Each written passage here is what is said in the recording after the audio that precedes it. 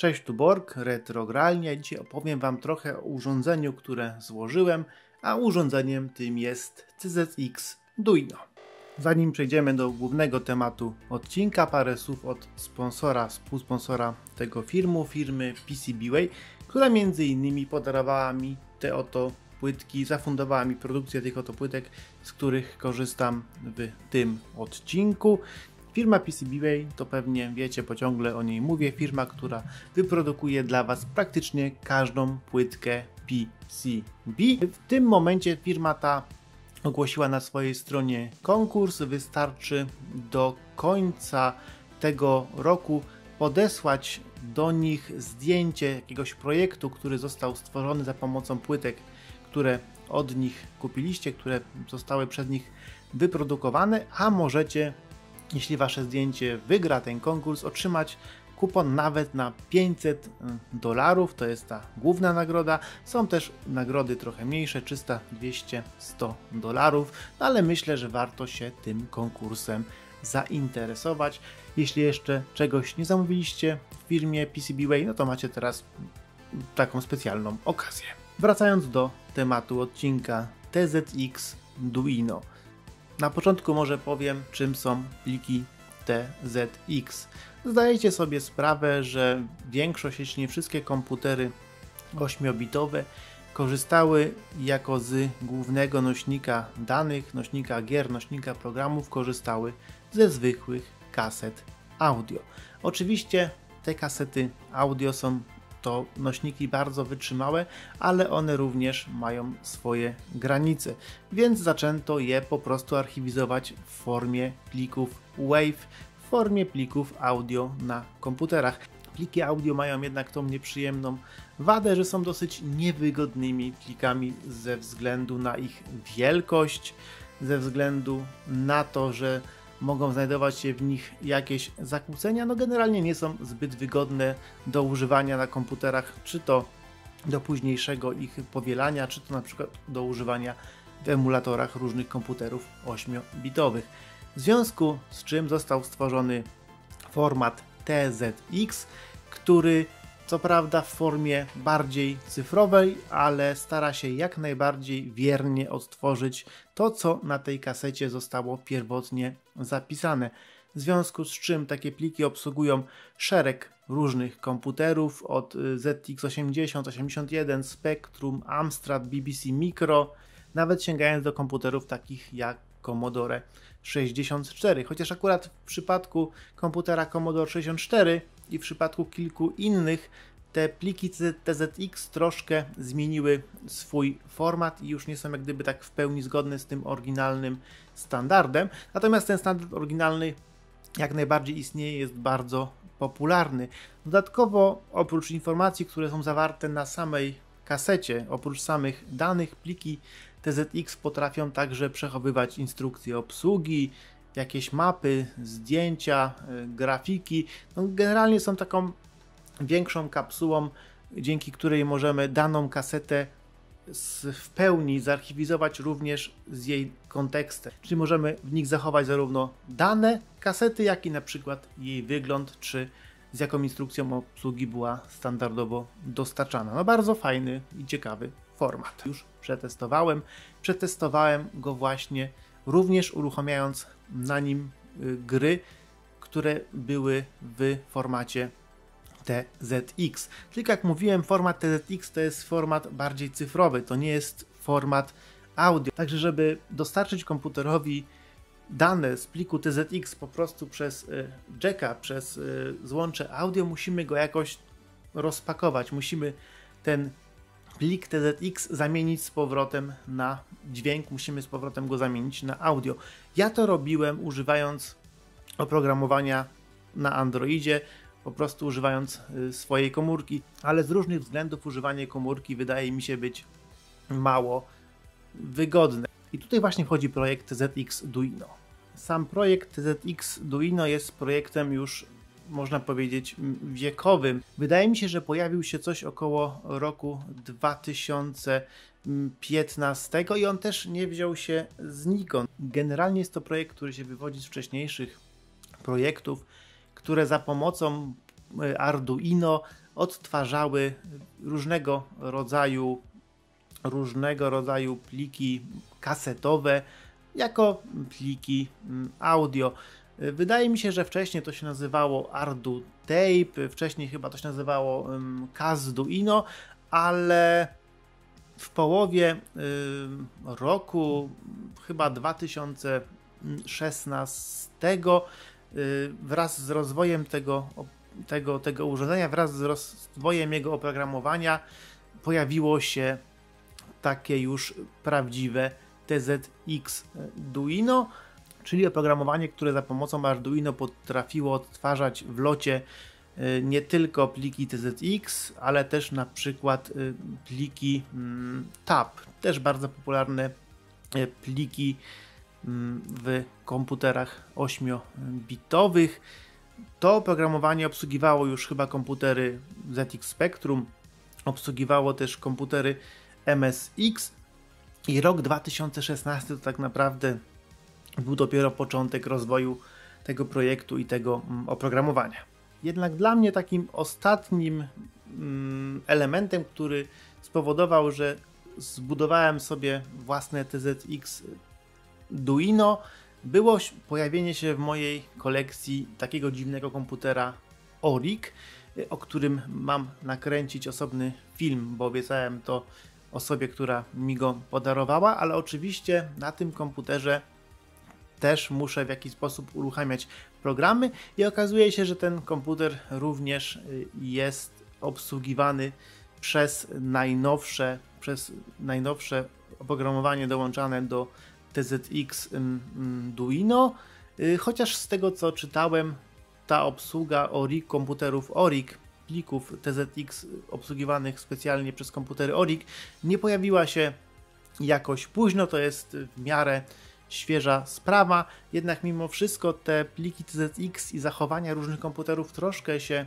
od siebie różnią, no, w związku z czym należy śledzić na internecie rozwój oprogramowania, po prostu sobie wgrywać coraz to świeższą świeższą jego wersję. No teraz przejdźmy do samej płytki i do tego, jak skonstruowany jest, jak skonstruowany jest TZX Duino. No tak naprawdę sprzętowo ono nie zmieniło się za dużo. To cały czas jest tak naprawdę tylko i wyłącznie Arduino, do którego w jakiś sposób musimy podłączyć e, czytnik kart SD i robimy to po prostu montując samą obudowę czytnika y, kart SD, samą obsługą y, karty SD, samym jak gdyby odczytem zajmuje się już samo Arduino.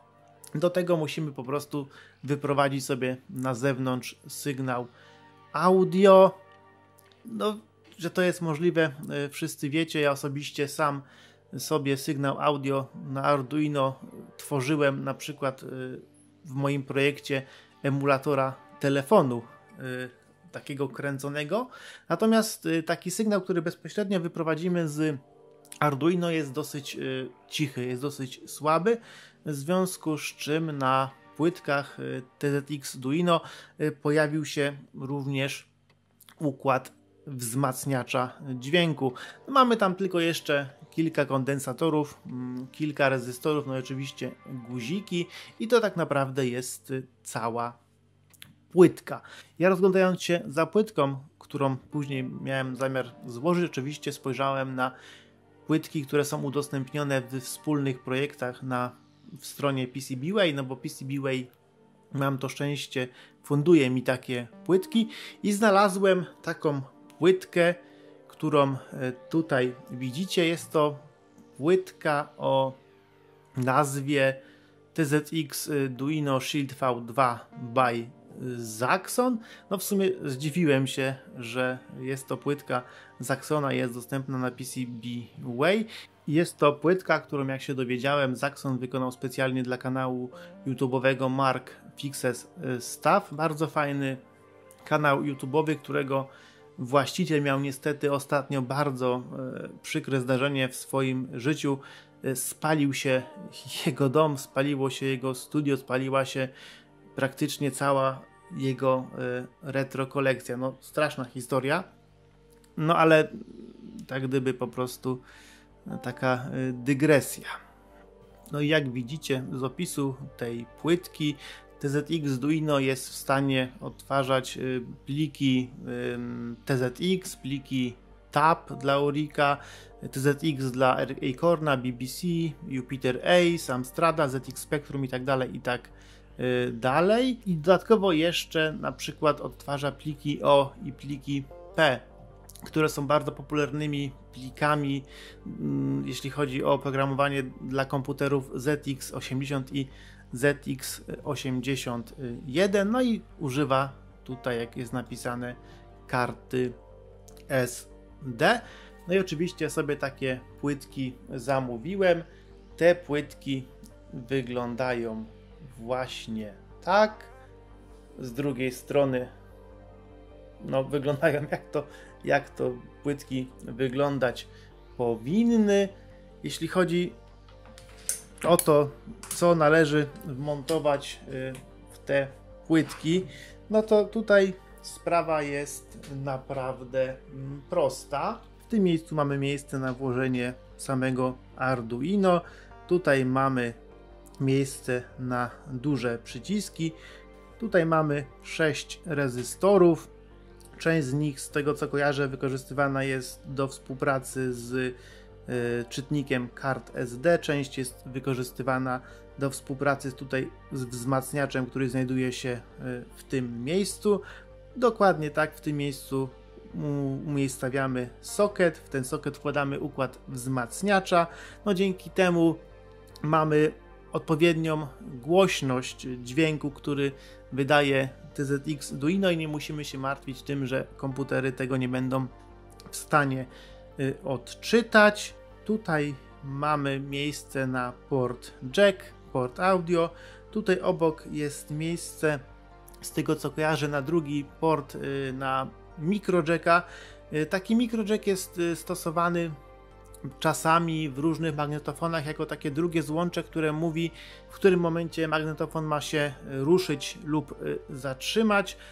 Tak naprawdę jest to standard, który wynika z magnetofonów z magnetofonów reporterskich i mikrofonów, które potrafiły zatrzymywać i uruchamiać z powrotem nagrywanie materiału. Dzięki temu niektóre komputery mogą sobie wygodniej radzić z, z obsługą właśnie e, plików TAP, no, generalnie z obsługą magnetofonu. No tutaj jest czytnik kart SD, o którym e, mówiłem.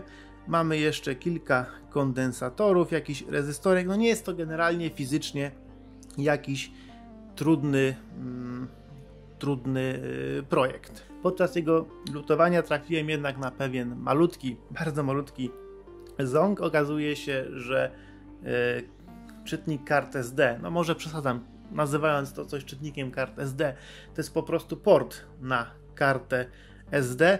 Ten port jest lutowany nie w taki sposób, jak zazwyczaj lutuje się proste układy, czyli na wylot, tylko po prostu jest lutowany powierzchniowo i przyznam się, że ja jeszcze nigdy w ten sposób niczego nie lutowałem. Oczywiście tutaj te mm, pady do lutowania są na tyle od siebie daleko, że nie miałem z tym jakiegoś większego problemu, ale generalnie ten sposób lutowania jeszcze jest mi obcy. Tutaj jak Adam Słodowy zamienię pustą płytkę na gotowy już projekt. W tym momencie mam tutaj przykręcony ekranik, który na chwilkę odkręcę, by pokazać Wam, jak wygląda y, sama mm, płytka z, z układami. Wy w tym czasie możecie sobie obejrzeć, jak ja tą płytkę po kolei składałem i lutowałem, a na zakończenie otrzymaliśmy otrzymaliśmy y, coś, coś takiego. No i tak jak mówiłem, tutaj mamy port na kartę SD, port mini jack, micro jack, wzmacniacz, Arduino, kondensatorki, rezystorki. Nie jest to zbyt skomplikowany układ, ale najważniejsze jest, że działa. Ja go na chwilkę uruchomię i pokażę Wam, na sucho go uruchomię i pokażę Wam, z czym miałem największy problem. Otóż po złożeniu takiego urządzenia należy na to urządzenie wygrać oprogramowanie. Oprogramowanie to wgrywa się za pomocą za pomocą y, zwykłego IDE Arduino. Y, trzeba zawsze pamiętać, by znaleźć w opcjach konfiguracyjnych to, y, jaki używa się ekran. Ja tutaj używam ekran LCD i, i kwadrat C o adresie 0x26. To jest ekran o rozmiarze 16 na 2 No i jak mamy mm, takie oprogramowanie, to wystarczy standardowo je po prostu wgrać na płytkę. Ono się kompiluje, ono się wgrywa, to nie jest zbyt skomplikowane. Samo lutowanie, które mogliście oglądać na live zajęło mi może dwie godziny. Potem znalazłem pierwsze z brzegu oprogramowanie do tego urządzenia. Było to jakieś stare oprogramowanie. No teraz znalazłem troszkę, troszkę nowsze, ale tak jak widzicie, wgrałem je poprawnie i ku swojemu zdziwieniu zobaczyłem, że no nie działa, że nie działa. Ekran nie działa, nic się na nim nie wyświetla. Zresztą jak tutaj widzicie. I moi drodzy, wraz z, z oglądaczami mojego streamu przez godzinę walczyliśmy i kombinowaliśmy, dlaczego to nie chce zadziałać, dlaczego na tym ekranie nic nie widać. E, zmienialiśmy, zmieniałem adresy e, e, tego, tego ekranu, różne testy przeprowadzałem. No po prostu myślałem, że może jakieś mam tutaj zimne luty, myślałem, że może źle ekran podłączyłem. No po godzinie, a była to już północ, poddałem się, a następnego dnia rano oświeciło nas na Discordzie oświeciło nas. Jedynym powodem, dla którego to nie działało, był ten mały potencjometr, który jest potencjometrem regulującym kontrast na ekranie LCD. Wystarczyło go przekręcić i na ekranie LCD już mieliśmy obraz.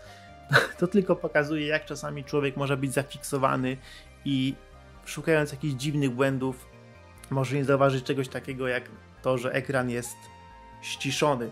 Na szczęście się okazało, że wszystko jest w porządku i mamy tutaj już działające Ardu, chciałem powiedzieć Arduino, TZX y, Duino z oprogramowaniem. Tutaj chyba mam oprogramowanie y, Max Duino wersja 1.71 y, nie jestem pewien czy to jest naj, najnowsza wersja programowania z tego co widziałem e, na sieci, tych oprogramowań do e, TZX Duino jest kilka e, rodzajów, jest kilka forków, także nie jestem pewien, czy akurat ta jest naj, najlepsza. Nie jestem pewien, czy ona na przykład obsługuje pliki.p i .o. Na pewno obsługuje pliki TZX i to zarówno dla ZX Spectrum i dla ZX81, co Wam e, teraz właśnie pokażę, składając to z powrotem i podłączając już do komputerka. Także zapraszam do testów. Tutaj mamy naszego klona ZX Spectrum, którego już znacie. Do niego za pomocą zwykłego kabelka audio podłączone jest TZX Duino. Włożyłem kartę SD. No to co, spróbujmy załadować grę.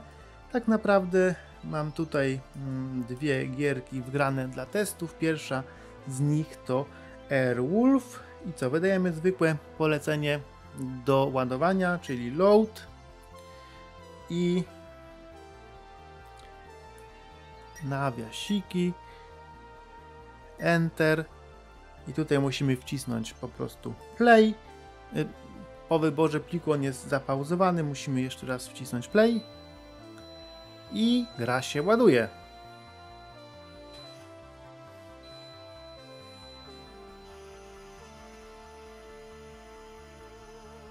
W tej wersji oprogramowania na ekranie mamy informacje oprócz powiedziałbym licznika obrotów, takiego wirtualnego licznika obrotów, mamy jeszcze informacje o procentowym stopniu y, odtworzenia naszej y, gry.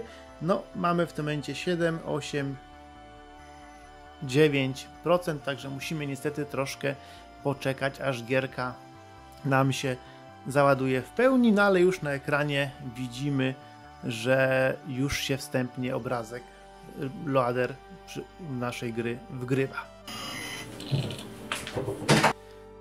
Gra się e, wgrała i działa.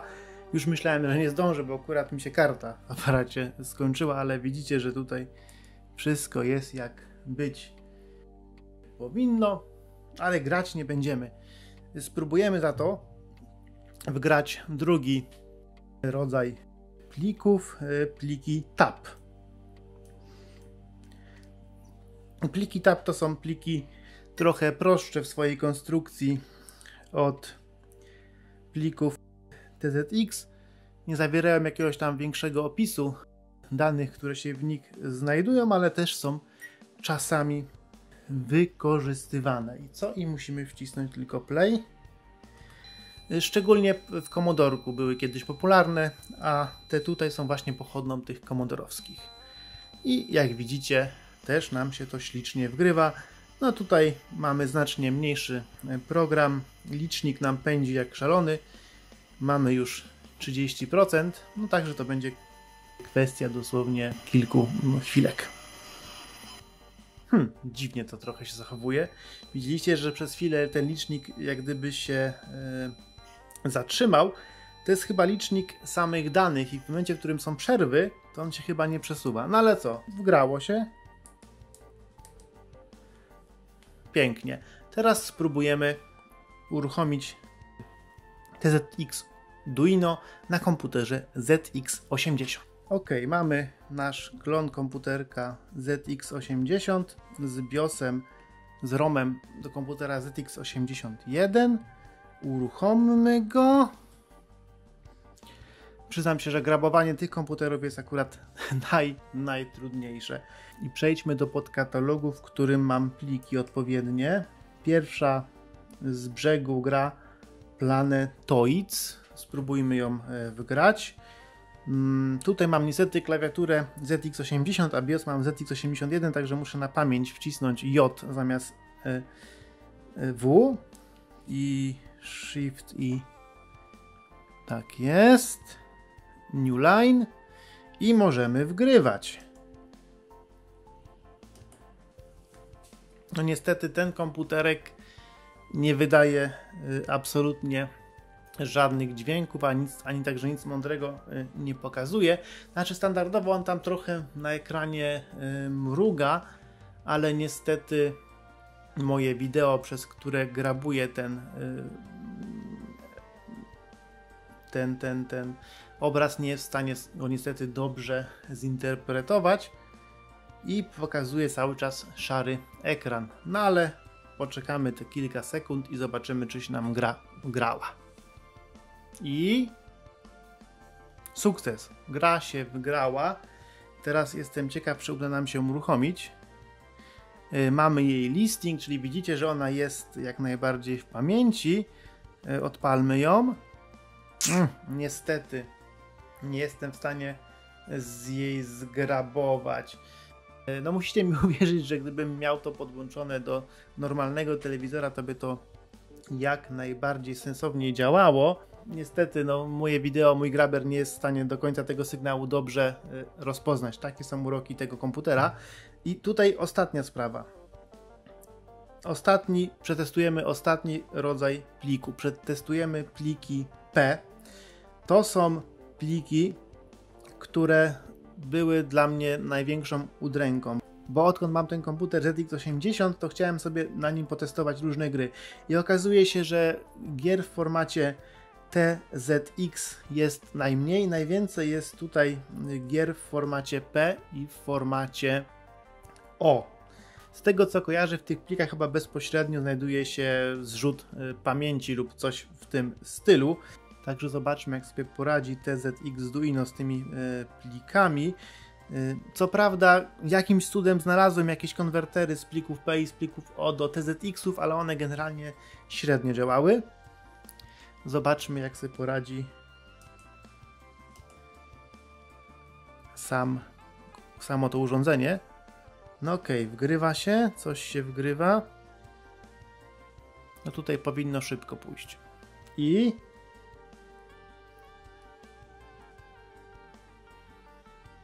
I nie zadziałało! Spróbujemy jeszcze wgrać y, plik specjalnie na komputer ZX81. Może był jakiś problem z rozpoznaniem wersji.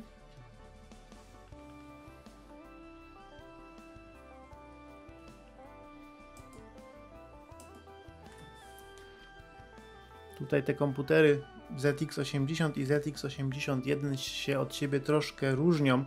Raz, że są ciut inne sprzętowo, dwa, że mają inny ROM, a tutaj mam sprzęt ZX80 z ROMem ZX81 i to prawdopodobnie spowodowało pewną konfuzję w naszym urządzeniu, ale kiedy wgrałem e, wersję przeznaczoną specjalnie ZX81, tak jak widzicie, e, wgrała się.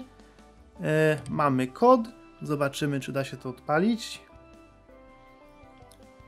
Ok, no i działa. Także wow. Reasumując, ja jestem mega zadowolony z tego urządzenia, szczególnie, że odczytuje ono nie tylko pliki TZX, nie tylko pliki TAP, ale także pliki P, no i też na pewno pliki O, z czym miałem straszne problemy niestety wcześniej, kiedy chciałem się pobawić komputerem ZX 8081. Wszystko się pięknie udało, wszystko pięknie działa. Dzięki temu urządzeniu będę mógł się bardziej bawić tymi starymi komputerami i zbudowanie tego urządzenia to jest taki mały kroczek do kolejnego filmu, w którym Wam pokażę komputer Oric. Dzięki temu urządzeniu mam nadzieję uda mi się wgrać tam jakieś gry.